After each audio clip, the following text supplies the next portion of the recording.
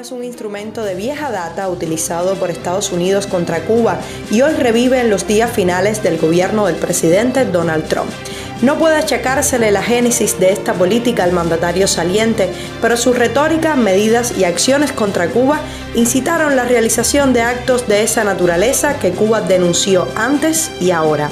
Esa historia comenzó hace décadas y una fecha la marca, el 17 de marzo de 1960. Entonces las autoridades estadounidenses aprobaron el llamado Programa de Acción Encubierta contra Cuba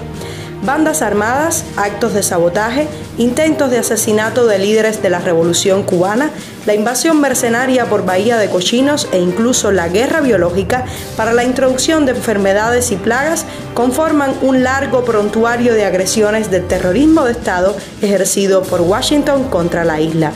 No hay que olvidar el derribo de una aeronave de cubana de aviación frente a las costas de Barbados en octubre de 1976, donde murieron 73 personas y los responsables de aquel crimen vivieron hasta sus últimos días en la ciudad de Miami.